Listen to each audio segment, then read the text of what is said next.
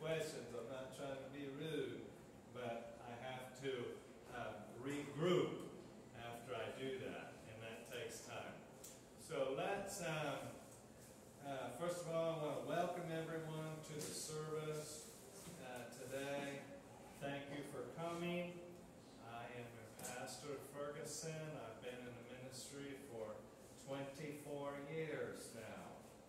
The Lord has been good to me, amen. And I know He's been good to you because God is good.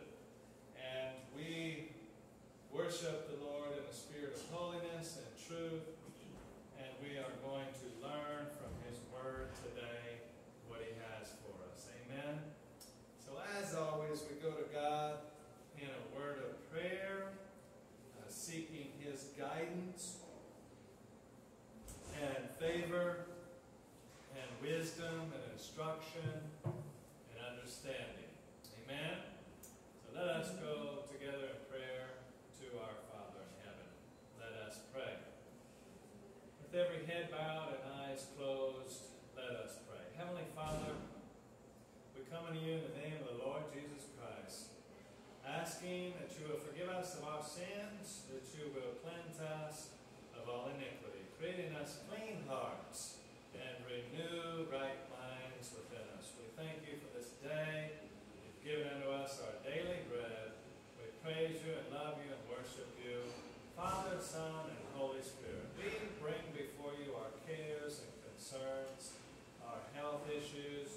We lay them at your feet, asking for your favor, your healing hand upon us, physically and spiritually. Father, we can do nothing without you, but with you, Lord, we can do all things pertaining to godliness and righteousness. Father, we just set before you this lost camera, uh, wherever it is, we pray and ask that you will return it uh, unto myself as a proper owner, and Father, that uh, wherever it is, you help the members of this facility, the workers of this facility, to locate it. We thank you and praise you for the many gifts that you have blessed us with. Everything belongs to you, everything comes from you. We thank you for giving us everlasting life in Christ. We thank you for saving us from hell and the penalty of our sins. We thank you, Lord Jesus, for dying on behalf of our sins, each and every one you took upon yourself. We pray for all who are in authority above us, President Trump and his cabinet, administration, that you may grant them wisdom in decision making, that we might live quiet and peaceful lives here on earth in this short time that we have. Uh, Father, we pray that you will prepare our hearts for eternity. Uh, Lord, if there's anything we're holding on to that we should not be, that we will willingly and gladly uh, relinquish that and give it over unto you. We thank you you for being our God and our Father. Lord, we worship you. And we worship you as well, Holy Spirit.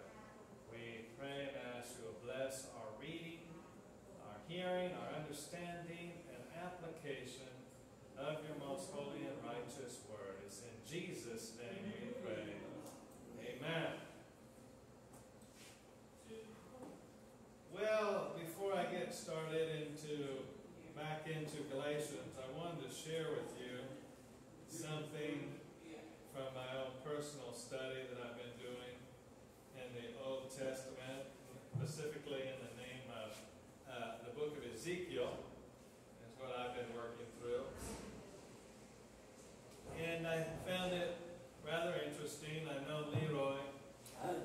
Can you hear me? A little bit. Okay. Know you'll find this intriguing. Um, when the children of Israel got carried away into captivity by the Babylonians, back in the uh, 6th century BC by Nebuchadnezzar, uh, we see the scenario that they are, God is beginning to prepare them to go back into Jerusalem after a number of years uh, has passed, namely uh, 25 is when Ezekiel got this um, this vision. Uh, 25 years after they've been in captivity, and he gets the vision for the the blueprint of the new temple. Okay, so God gives the blueprint to Ezekiel as to how the temple is to be reconstructed. Now, you may find it strange, but God ordains that a parcel of land uh, was to be allotted for the children of Israel. Now, this piece of land over there, otherwise known as Jerusalem, was approximately uh, 450,000 acres. Big, pretty big chunk of land, huh? That amounts to 700 square miles. Uh, just to give you a, an idea of how big that is, Wichita is 164 square miles. So this piece of land that the Israelites were given by God was uh, four times as big as Wichita. Okay, a pretty good sized chunk of land. But you have to remember there was a lot of Israelites we're dealing with. A lot. Okay, probably my, my estimation be at least close to a million. Okay, so what happens was uh, within that land, to give you an idea of the square miles, is 20, approximately 26.5 miles by 26.5 miles. That's how big the land was. So it's not as big as Kansas, um, but uh, it, uh, it, it was big enough uh, for the children of Israel. 26 miles, though, you can easily drive uh, past Wichita in 26 miles, can't you? Wichita is about, I think, maybe 10, 10 by 10, something like that. So, um, at any rate, within that, within that piece of land, uh, to give you an idea, this 700 square miles is about the, is half of the size of Rhode Island. So, you know, Rhode Island looks pretty small on a map, but if you ever go to Rhode Island, say, uh, it seems bigger, right? It doesn't look, and when you look at it on a map, it says Rhode Island is tiny. But if you go there, you say, wow, that's pretty big. anyway, it's half of the size of Rhode Island. Now, within that piece of land, uh, the land was to be split in half. So half of that land was for the uh, Levites and the priests. They would they lived, and that's where the temple was to be built, in one half of this land. There was to be separation between the holy half of the land and the profane, where the people dwelt. Okay? So in that holy side of the land was where the temple was constructed, and the priests and the Levites, the workers of the temple, all had their houses built around the temple in that one half of the land. You follow me? Pretty clear cut, pretty understandable? Okay. And then surprisingly, I found it also interesting that there was a portion for the prince uh, of the,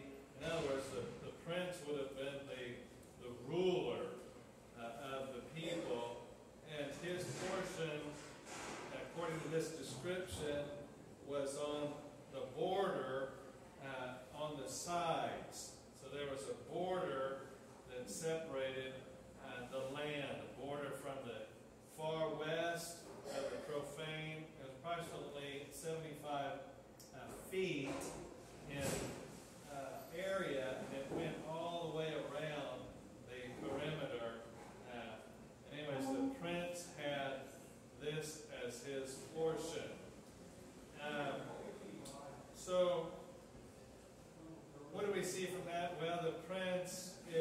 personified figure of the Lord.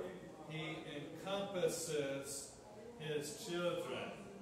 He protects us, doesn't he? So the armies or the defenders would have been around the city. They would have built a wall, and uh, the watchmen would have been on that wall, watching if any invading uh, armies were going to try to approach the city, and they would prepare for battle. So, at any rate, I just wanted to share that with you. I thought it was very interesting because you don't always hear about how big the land was that God gave unto them. Now, let me revert your attention back to the book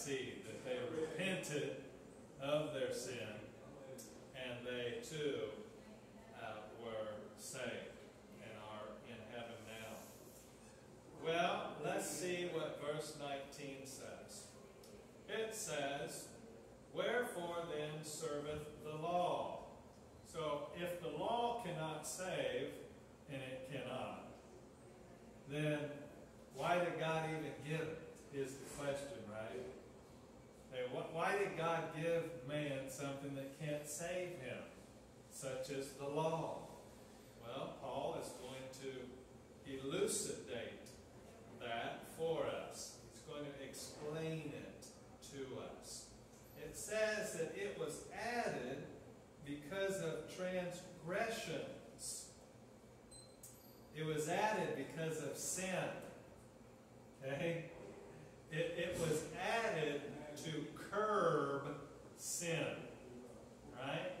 Not to remedy sin, because the law cannot the law cannot remedy evildoers, can it? The law cannot fix them. It, it thinks that it can by throwing them into prison, but that doesn't fix them, does it?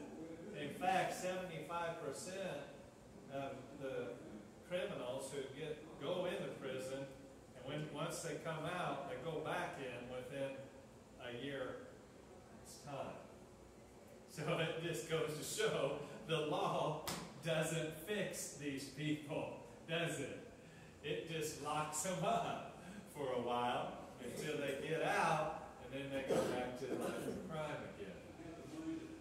Some of them are what, what the system uh, terms as repeat offenders. Right? You've heard of that term? Repeat offenders? I mean, they, as soon as they get out of jail or prison, they go right back to what they were doing that landed them a cold bed in the prison system. But we don't want to be repeat offenders, but I give that illustration to you as an example. It was added because of transgression. The law was added because of transgression until the seed should come to whom the promise was made.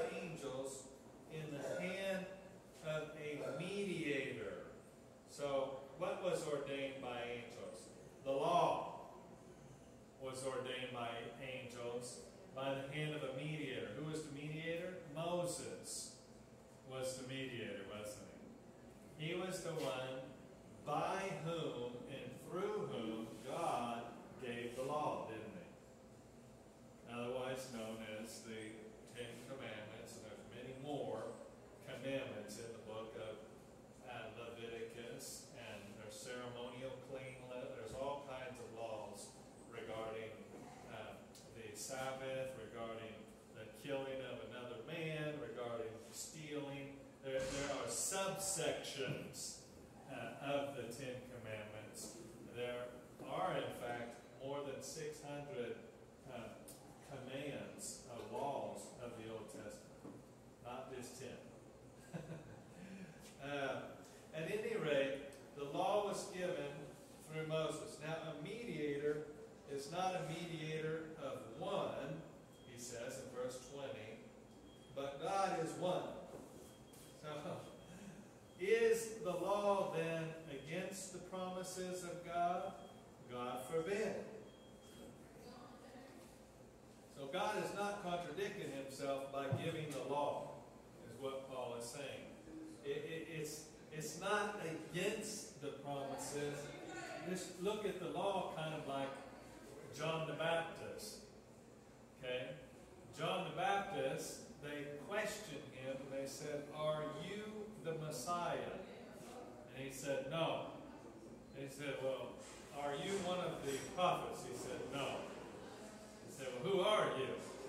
He says, I am the voice of one crying out into the, in the wilderness, prepare ye the way of the Lord. In other words, John the Baptist was a forerunner of Christ, wasn't he? He wasn't Christ, but he was a forerunner. He came before Christ, even though, now get this, Christ was before him. Did you hear that? John the Baptist came before Christ, even though Christ was before him.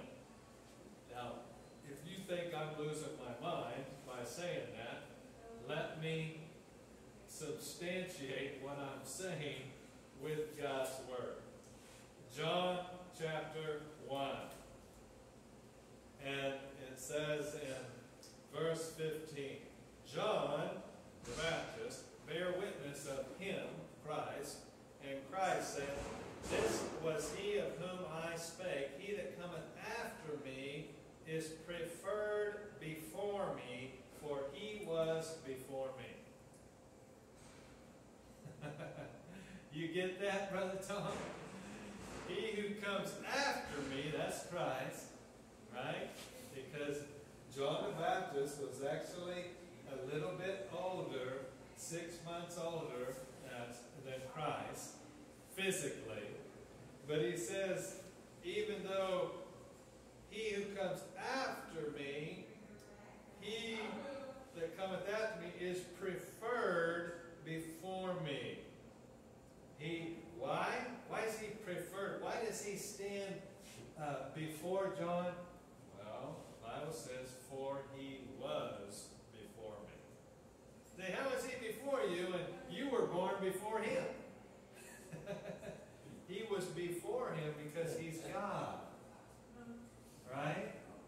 Let me read to you in John 8, where it says, Jesus says in verse 58, Verily, verily, I say unto you, before Abraham was, I am. Wait a second. You say you were born before Abraham? You're only you're less than 40 years old. No, you're not getting it. See? Before Abraham was, I am, it means I'm God. And look how the Jews responded right after he said that, verse 59. Then took they have stones to cast at him. They didn't like that.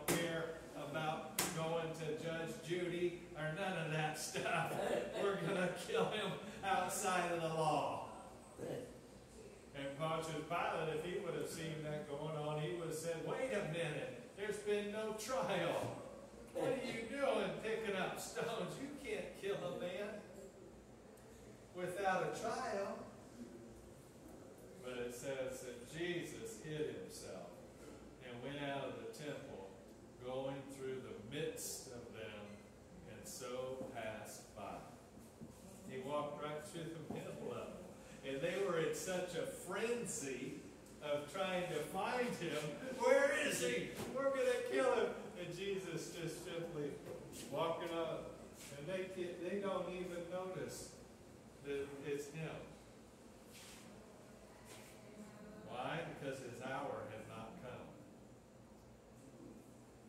See, man could not lay a single finger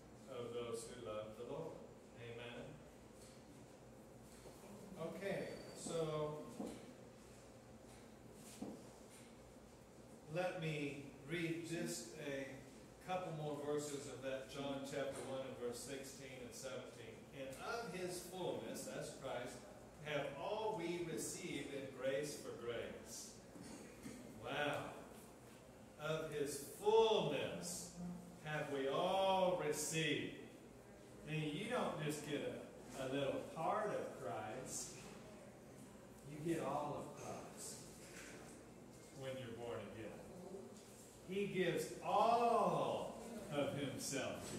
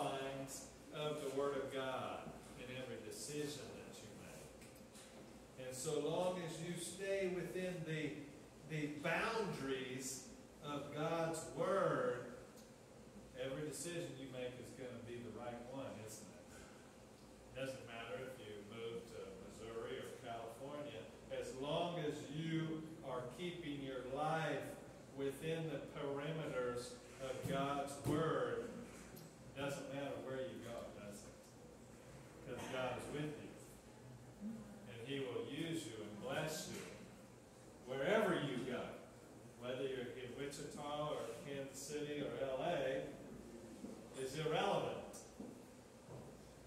Now, don't get me wrong, I do believe God wants us at certain places at certain times and He will keep us there. Whether we try to escape or not, right?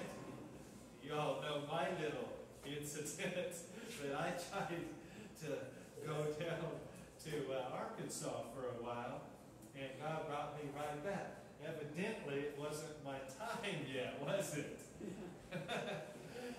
I thought it was my time, but I come to find that I was a little bit ahead of the gun, right?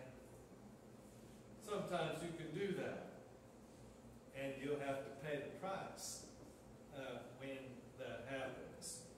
Well, for the law was given by Moses. Okay? But grace and truth came by Jesus Christ. Understand? Moses was not the Savior. Moses was the mediator of law. He was the man God chose deliver the law. Do this, don't do that. Right? The people of Israel, God had to show them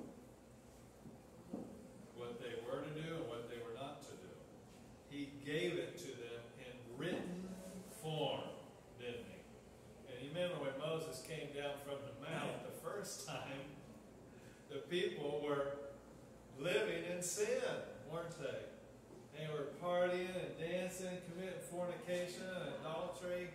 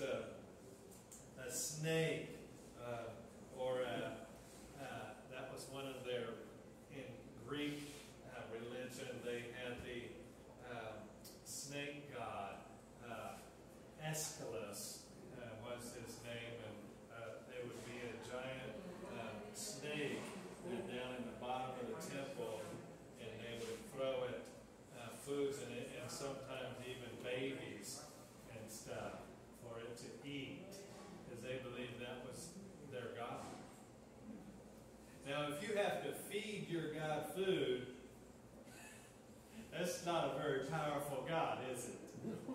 If that snake need to be fed, uh, ain't my God. He can't even feed himself.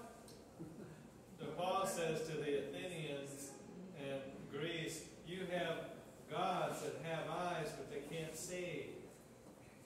And your statues, Heracles and Athena Olympus and, and all these uh, different gods that you've made statues and, and, and that you worship, they can't even see. You, you, you fashioned ears on them, but they can't hear. They got noses, but they can't smell. Your gods are dead. And you know, the sad thing is, that is still going on today, isn't it? Idolatry. It's otherwise known as iconocla- iconoclasm. And that's a fancy word to mean the worship of icons. And that's very prevalent in Roman Catholicism, isn't it? Where they have little um, rosaries and, and they have statues of Mary. Have you ever been down to St. Francis? I know you have. Or you've been to Wesley. no. Now, who's been to St. Francis? Herbert? been to St. Francis Hospital? You know if you go down in there, you'll see lots of statues down there, don't you? Some are of Mary and some of Christ and some of uh, saints that you've never heard of, right? Well, that's part of their belief is to do homage or obeisance, uh, uh, these sacrifices, these uh, statues. That, my friend, is idolatry. And you don't want to do that. Now, before I get off track too much, let me draw you back to Galatians in chapter 3 and verse 21. Is the law then against the promises of God? God forbid. For if there had been a law given which could have given life, by the way, there wasn't. was there? There was no law that could give life. But Paul is, is making a rhetorical statement or question more of a statement here. He's saying, For if there had been a law which could have given life, verily then righteousness should have been by the law. Then we wouldn't have, we would have never needed Christ. Right? If the law could save you, then that's all we would need. Why Jesus come? Just to say hello? I'm God? change water to wine, heal a few blind folks and dumb, can't speak, and lepers, and no. We're going to get to that, why he came. But it says in verse 22, But the scripture hath concluded all under sin. Hear that? The scripture hath concluded, Galatians 3.22, all under sin. I was talking to a man one evening over the phone. Never met this man. Uh, I don't know exactly. Let's see, what was it that struck? Oh, now I remember. I had uh, posted something on Facebook as I regularly do in my scripture ministry that I perform on Facebook, and uh, and I had noticed that uh, this individual uh, he had a page of his own and um, it was something to do with the prosperity preachers, and he had agreed on, on that, and what I had put. And at any rate, I went to his page, and it says his his cover on his page said, "Jesus is the Son of God." I said, that's kind of strange. Why is he just making us say Jesus the Son? God. And so I kindly um, asked him if he believed, not only, obviously he believed Jesus was the Son of God, but did he believe Jesus was God? And that's where he denied. And he, I says, uh, well, now, you know that uh, a man has to be born again. That all, 1 Corinthians 15 22 says, we died in Adam. All died in Adam. You were come into this world as a dead sinner, dead to God. You're alive to sin because that's all you can do. But you're dead to God because that's all you can do is have a relationship with God until you get born again. Follow me? Well, at any rate, the man denied that children were born sinners. I says, uh, you can't do that. And his evident, uh, what he was, uh, he says, uh, the verse he was trying to use was until the law came. Uh, he says until the law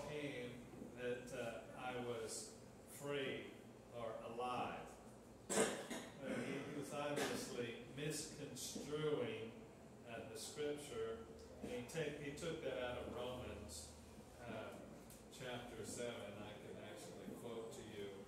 He says, uh, for I was alive, Romans seven, nine, this is the verse he tried to use in, um, evidence or to substantiate his claim that people were not born sinners. For I, he says, uh, Romans seven, nine says, for I was alive without the law, but when the commandment came, sin revived and I died. He says that's when you It's when you become aware of the commandment. Well, that's not what Paul is saying here in Romans chapter 7. I'm not going to um, take you over into that, but the context is in, of Romans chapter 7 is the Christian's struggle uh, with the old man. Right? The, the flesh, in other words. That's what we struggle against. The flesh wants to go against God, but the spiritual man, the new man, wants to do the will of God. It, it's not the new man that sins against God, is it? No. It's the old man that carries it out. The new man is in Christ. And he can't sin against God. That's why it says here in 1 John uh, that, uh, let me read to you, just to clarify what I'm saying. Okay? It says here that in John, uh, 1 John, in uh, chapter 3, and verses 4, Whosoever committeth sin transgresses also the law, for sin is the transgression of the law. Said that's the definition of sin. It's the breaking of God's law.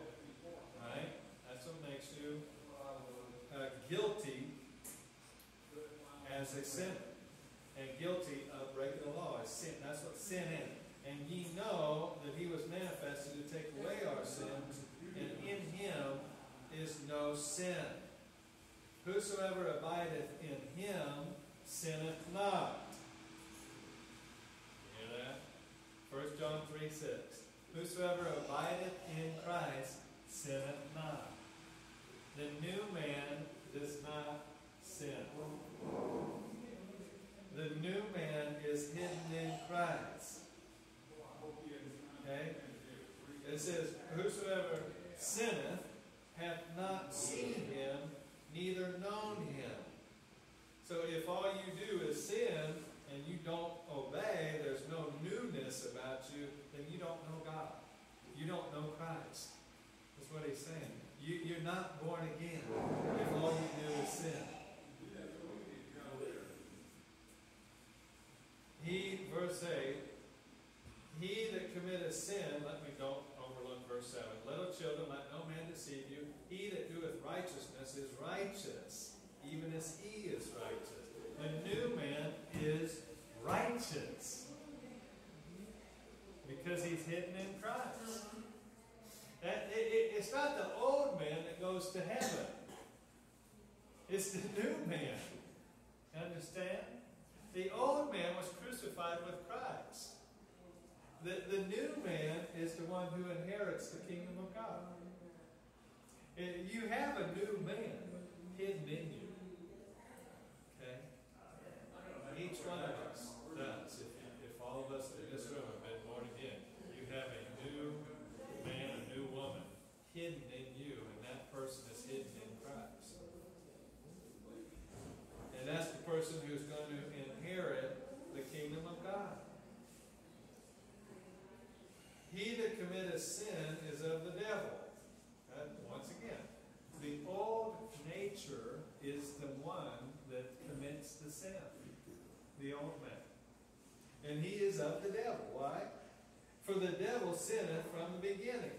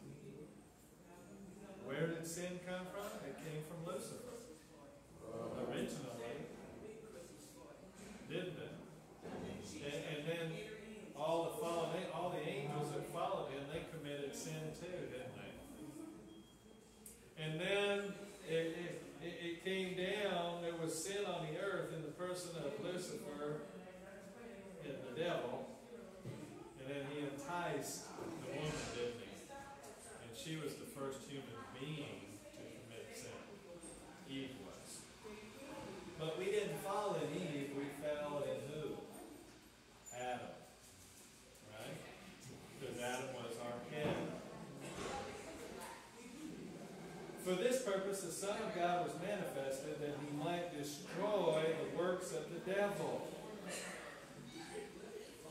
And he did that, didn't he?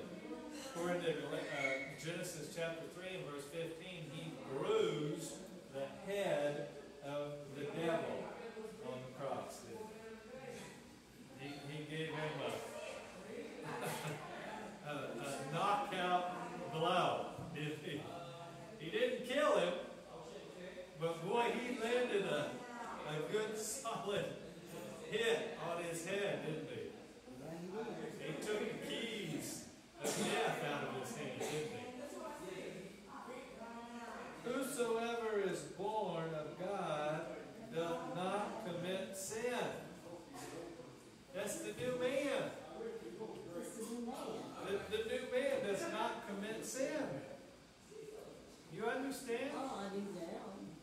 See? For his first 65 years of your life, you didn't know that. Watch my mouth, right? I should have said 55.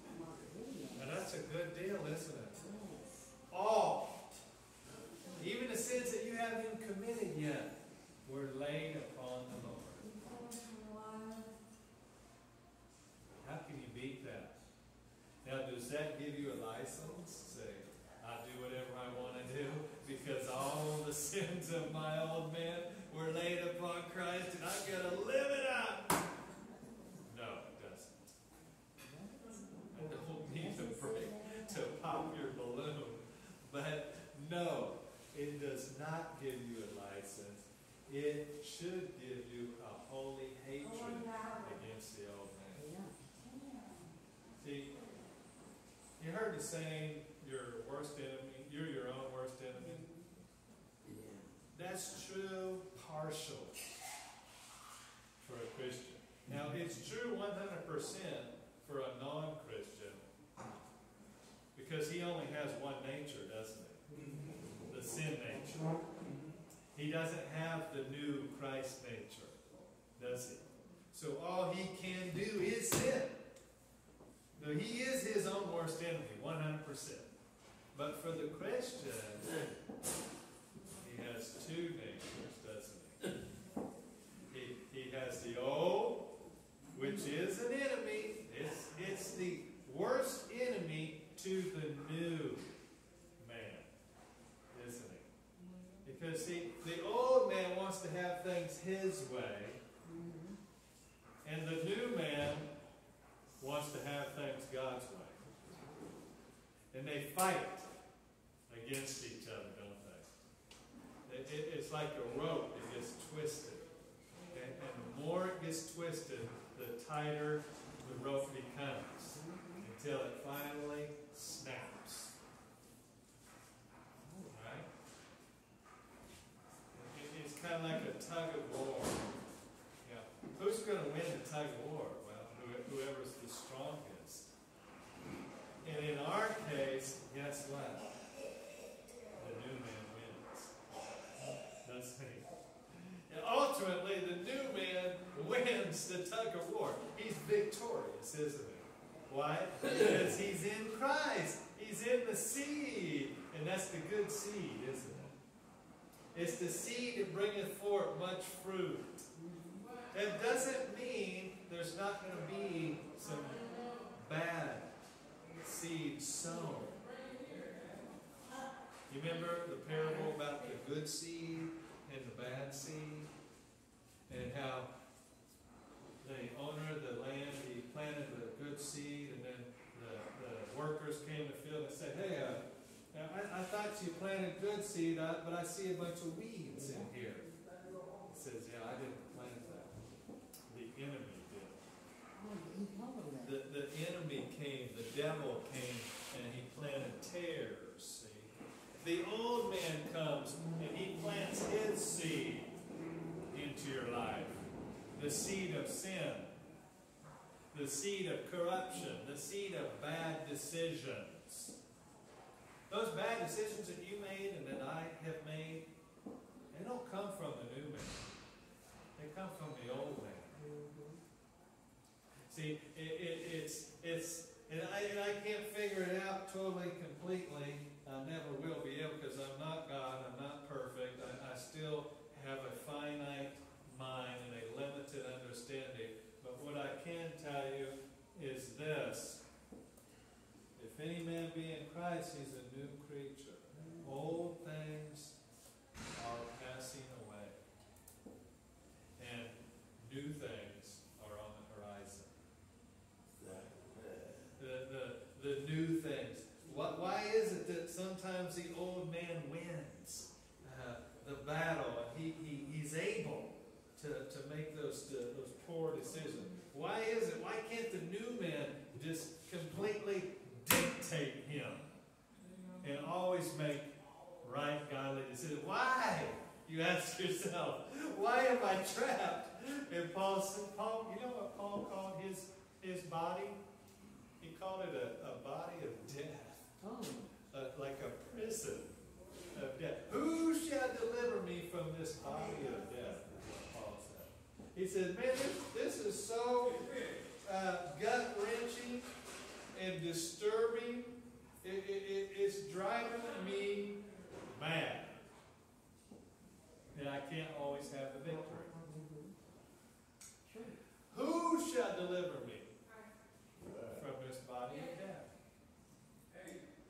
Well, the answer is the Lord will deliver you. Only- And He has, in one sense, already delivered us, hasn't He? Because we're guaranteed a spot in heaven. We're guaranteed to be with the Lord forever, aren't we? And Jesus can't lie. And He says, if any man believe in me, he will have everlasting life. Amen? But make sure your belief is real and not uh, make believe. You see, so First John here to finish this off, considering uh, this thought, it says, um, For whosoever is born of God does not commit sin, for his seed remaineth in him. And he cannot sin because he is born of God. For whose seed? It, it is the seed of Christ that's in you. is the fact that you are in the sea. See, if you could sin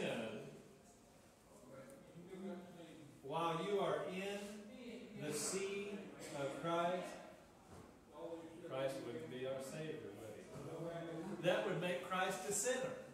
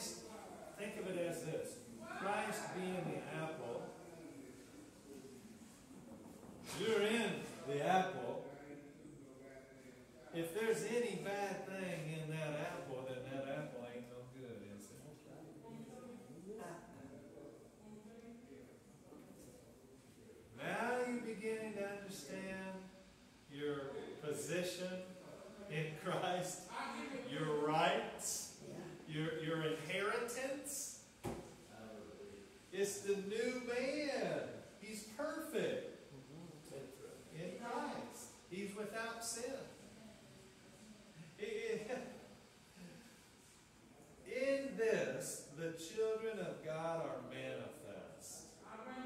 And the children of the devil. Whosoever doeth not righteousness is not of God. Plain and simple. If, you, if you're not interested in obeying the Word of God, you are not of God. You're not in the seed. You're not part of the good apple, so to speak. You're a bad apple all by yourself. You belong to the devil right? Because he's a bad apple, isn't he? He's a rotten, dirty, rotten, stinking apple, isn't he? He said, you ever smelt a rotten apple? You know, apples all been wormed and rotten and been sitting in the, the underneath the car seat for five years. Mm. That ain't gonna smell too good, is it? It's, it's rotten, isn't it? Yeah.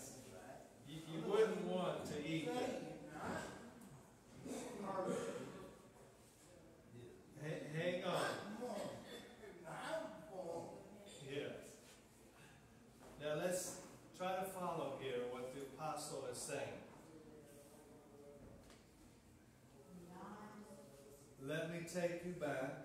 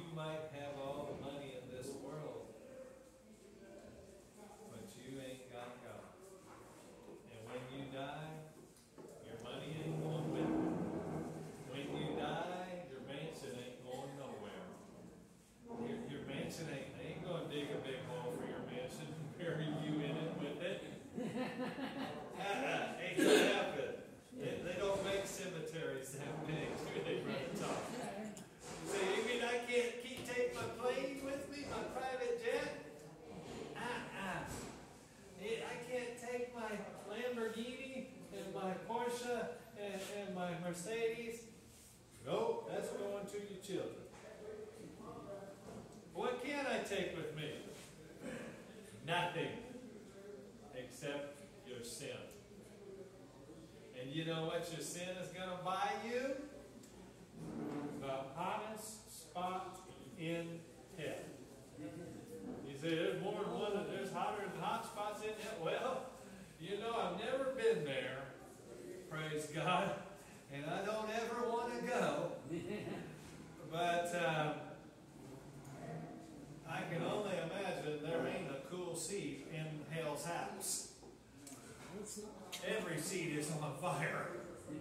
Amen?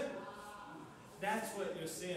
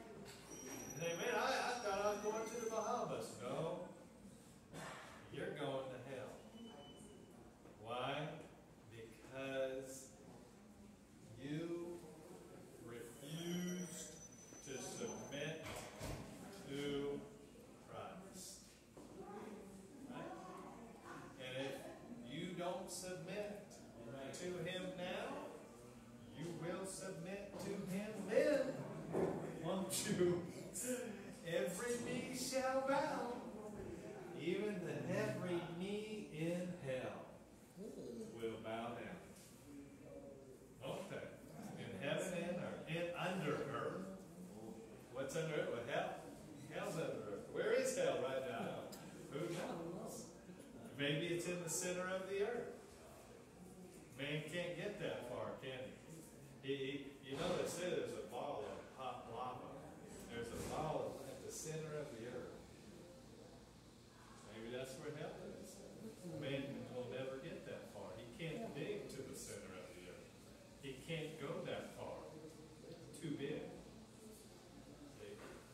He can't make a poem that goes that far.